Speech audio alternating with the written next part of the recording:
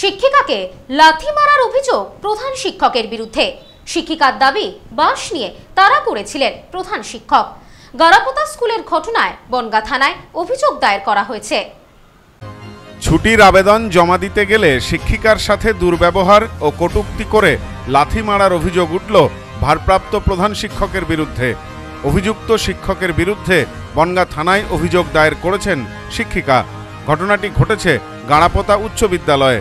প্রতিবাদে বৃহস্পতিবার সকালে স্কুলে বিক্ষোভ দেখান শিক্ষিকারা। প্রধান শিক্ষকের সাথে চরম বাক বিতণ্ডা হয়। প্রধান শিক্ষককে ঘিরে বিক্ষোভ দেখাতে থাকেন শিক্ষক শিক্ষিকারা। ক্লাস বয়কট করেন তারা। বৃহস্পতিবার সকালে ভারপ্রাপ্ত প্রধান শিক্ষকের ঘরে তালা দিতে যান শিক্ষিকারা। সে সময় চরম গোলমাল বেঁধে যায়।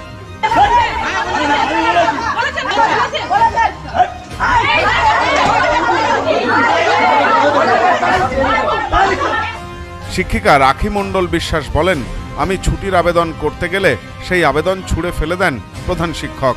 আমাকে অসভ্য ভাষায় গালিগালাজ করেন, অভিযোগ লাথি মারতে যায়। পাশাপাশি তার আরও অভিযোগ, অভিযুক্ত শিক্ষক নানাভাবে বিভিন্ন সময় শিক্ষিকাদের অপমান করে থাকেন। মেডিকেল জমা দিতে গেছিলাম। দিনের মেডিকেলের একটা আমার বাইরে চিকিৎসা করতে যেতে হবে, সেজন্য মেডিকেল জমা দিতে গেছিলাম। এবার টিআইসি, ভারপ্রাপ্ত প্রধান শিক্ষক মহাশয়ের কাছে।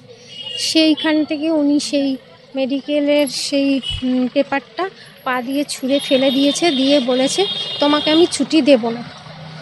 আচ্ছা আমি বললাম, কেন? বলল, না, স্কুল চলবে কি করে? তোমাকে ছুটি দেওয়া হবে না। আর এরপরে পা দিয়ে ছুঁড়ে ফেলেছে, আমি তো বলছি, পা দিয়ে ছুঁড়ে ফেললেন কেন? তখন বলছে যে, আমার ইচ্ছা, আমি ছুটিও দেবো না, আমার ইচ্ছা। এই বলে ভীষণ বাজে বাজে ভাষায় আমাকে গালাগালি করেছে। অন্যান্য টিচাররা যখন ছুটে এসছে পরিস্থিতি সামাল দিতে, তখন উনি তাদের সেই সব শিক্ষিকাদেরও ভীষণ বাজে বাজে মানে কথায় বলেছে। আর তারপরে আমাকে মানে খুব একটা বাজে নোংরা কথা বলেছে, আমি বলতে পারব না সেটা, এতটাই বাজে কথা। এবার তখন আমি বলেছি, আপনাকে একটা গালে ঠাস করে জল মারবো। তখন উনি আমাকে বলেছেন যে তুম মানে আমাকে মারতে এসছে। পুরো গাল পর্যন্ত এসছে। তখন এক একজন টিচার ওকে ওনাকে ঠেকিয়েছে না হলে আমাকে মেরেই বসতো কালকে। মানে সব সময় খারাপ খারাপ ভাষা আর মহিলাদের হেনস্থা করা খুব খারাপ খারাপ ভাষা ইউজ করে। এ বিষয়ে স্কুলের ভারপ্রাপ্ত প্রধান শিক্ষক পঙ্কজ কুমার ব্যাপারী বলেন আমার বিরুদ্ধে যে অভিযোগ উঠেছে তা মিথ্যা। ওই শিক্ষিকা ছুটিতে ছিলেন। দুদিন আগে ছুটির আবেদন করেছিলেন। কোনো বাজে ব্যবহার আমি করিনি। গতকালের ঘটনা হলো এই অ্যাপ্লিকেশনটা উনি আমাকে দিয়েছে।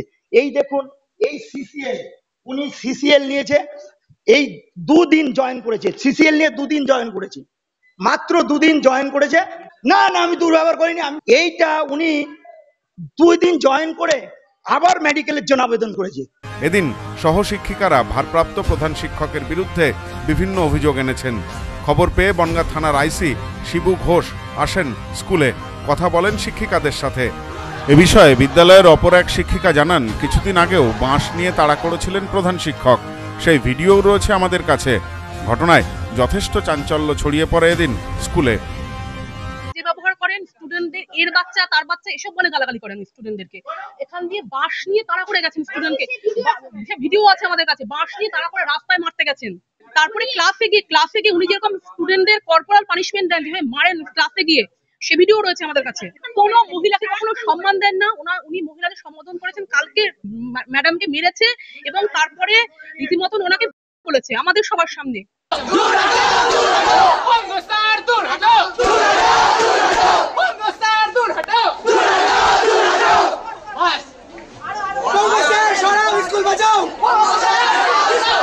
বঙ্গো সরাও স্কুল বাঁচাও বঙ্গো সরাও স্কুল বাঁচাও বিচার চাই। আমরা সবাই বিচার চাই। বিচার চাই বিচার চাই। আমরা সবার বিচার চাই। Bureau report news no man's land, Bangaon. সবার পায়ে সবার পছন্দের উন্নত গুণমানের জুতো প্রস্তুতকারী সংস্থা সুনীতি ফুটওয়্যার ডিস্ট্রিবিউটারশিপের জন্য যোগাযোগ করুন eight six one seven double eight three four nine three office Bangaon, Uttar Chobbish Pargana, Paschimbanga. বাঙালির সেরা উৎসব দুর্গাপুজো, একেবারে দোরগোড়ায়।